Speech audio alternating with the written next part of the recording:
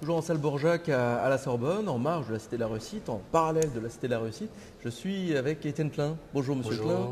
Euh, merci de vous prêter à ce petit jeu, parce que c'est un petit jeu, cette, Web TV et ses, réponses aux internautes.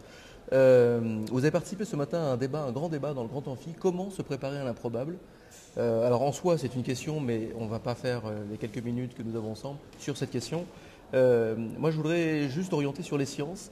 Est-ce que la connaissance scientifique permettra un jour d'anéantir l'imprévu, l'improbable? Bon, d'abord, la connaissance scientifique, euh, elle n'est pas complète, comme vous savez. La physique s'intéresse à la matière euh, inerte, mais elle ne traite pas les questions de biologie. On sait que les sociétés humaines sont très difficiles à comprendre, qu'il y a de l'aléatoire, il y a de l'incompris, il y a du libre arbitre, euh, qui font que ce sont des objets difficiles à comprendre intégralement.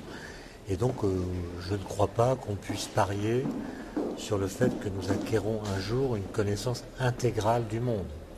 Et d'ailleurs, même si nous l'avions, les patients que nous saurions la décliner au point de pouvoir prévoir exactement ce qui va se passer dans tel ou tel secteur. Mm. En plus, vous savez, en physique, il y a une discipline qui s'appelle la physique quantique, qui régit le monde microscopique, dans laquelle il y a une forme d'indétermination qui se manifeste par le fait qu'on ne peut calculer que les probabilités que tel ou tel événement se produise dans telle ou telle situation, ce qui empêche de penser l'histoire comme quelque chose d'intégralement déjà écrit. Oui, c'est penser plusieurs futurs euh, envisageables, imaginables. Donc il y a toujours de l'improbable à envisager, peut-être même de l'impensable. Penser l'impensable, c'est une sorte de contradiction. Mais il est possible que surviennent des événements auxquels personne n'avait pensé, qui font que euh, notre avenir est difficile à complètement décrire. Mais l'improbable, finalement, est-ce que c'est. On appelle improbable, finalement, notre ignorance, tout simplement?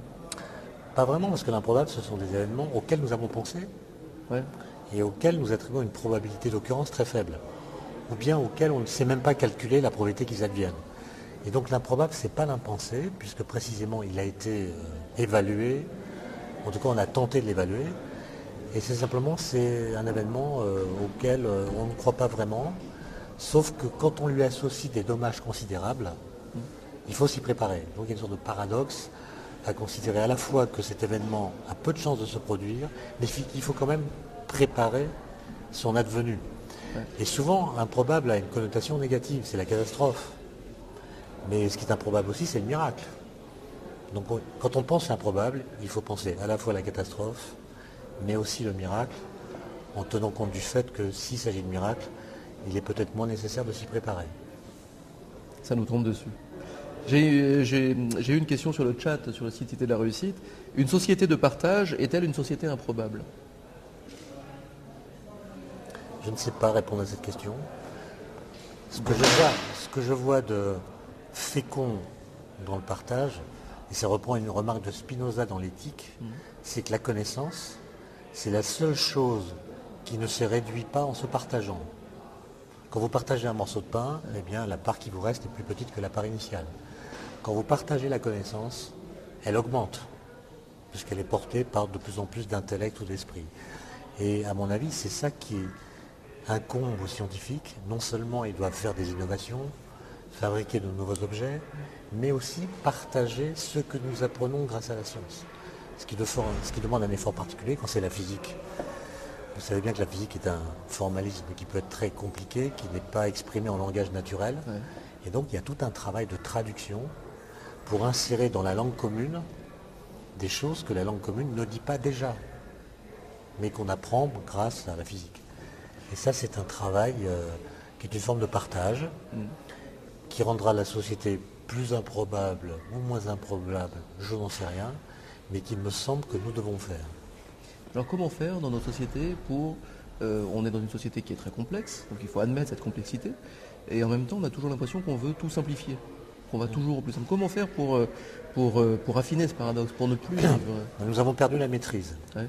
Comme disait Paul Valéry, nous savons en général ce que nous faisons, mais nous ne savons pas ce que fait ce que nous faisons.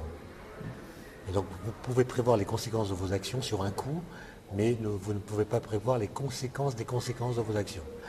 Et dans un tel contexte, où le déterminisme semble perdu, la seule chose que vous puissiez faire, ce sont des paris.